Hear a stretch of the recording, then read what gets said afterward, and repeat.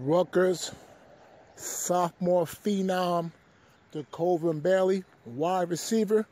who contributed as a true freshman and a sophomore at wide receiver and defensive back, has been kicked out of the school, kicked off the team for assault that happened in July of 2017. Now, I'm not going to say he's guilty because I'm going to let this play out.